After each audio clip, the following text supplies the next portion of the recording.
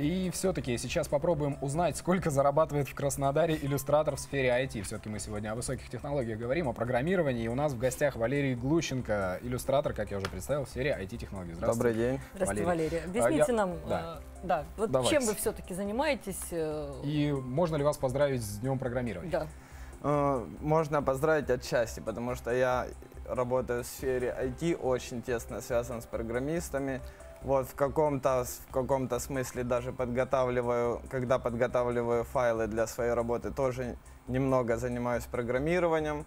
Вот, а так я, грубо говоря, являюсь, ну и мы вообще иллюстраторы, являемся таким связующим звеном между программистами и пользователями. То есть я правильно понимаю, мы, играя в игры на планшетах, на телефонах, мы видим, по сути, ваше творчество, то есть Да. картинка, которая в игре представлена, ее герои, персонажи, локации. Да, да, Это да. всё ваши На руки. сто процентов человек видит вообще на сто процентов именно нашу работу. А невидимая работа это как раз работа программистов. А как вы это делаете? То есть вы сами придумываете, да, вот какой должен быть персонаж, как он должен выглядеть, как э, люди придумывают мультфильмы, так вы придумываете этих персонажей. Так получается? Ну, чаще всего это происходит так. Это немножко уже еще другая уже специальность. Вот нам поступает информация о том вообще, какой мир, какая вселенная вообще проис- происходит, ну, да, в- в- как бы в игре, В игре, допустим, к примеру, это ковбой или мир зомби или какой-то космический или мир жуков. Вот, потом поступает ну, информация более такая точная, там, как, как должен выглядеть персонаж, мальчик, девочка, злой, добрый, какая у него может быть предыстория. И мы уже ну, относительно этого отталкиваемся, может быть, смотрим какие-то примеры в интернете и уже рисуем что-то свое. А кто занимается объединением вот этой визуальной части и программного кода? Это программисты все-таки делают или это А, как-то сообща происходит?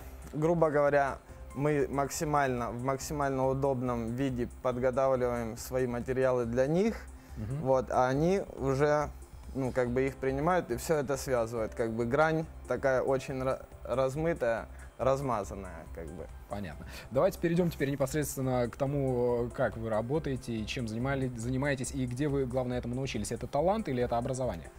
Э, ну, вообще в талант я не особо верю.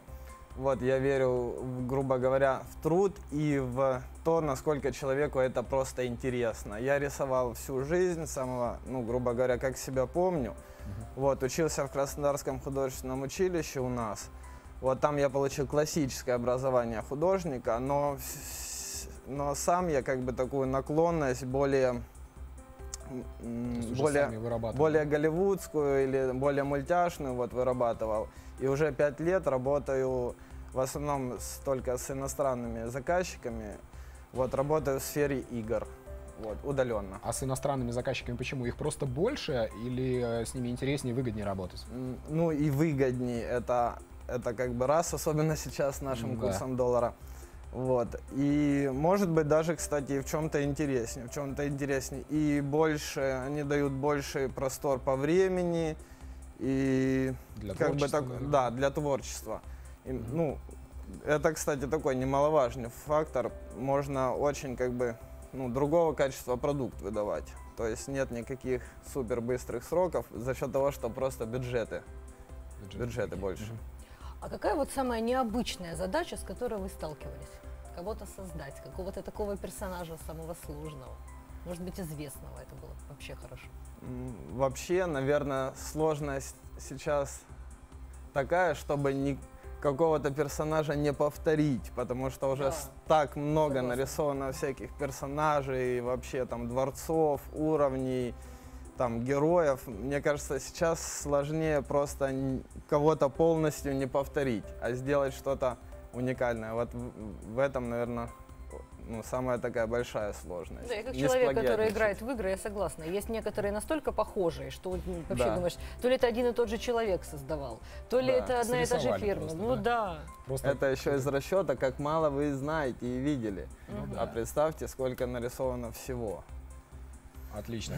А, Валерий, я хотел спросить э, вот о чем. Вы сказали, что работаете с разными мировыми компаниями, и при Да. всем при этом вы сами, как вы уже сказали, не привязаны к месту. То есть, Да. э, вот вы за что любите свою профессию вот в этом смысле? То есть, на самом деле, неужели так здорово быть программистом, вот с- работать в современных э, технологиях, что можно, находясь где угодно, зарабатывать деньги? На самом деле это очень здорово, современная вот IT-индустрия. Во-первых, это ну, действительно деньги, вот, намного выше среднего заработка, по крайней мере, в Краснодаре.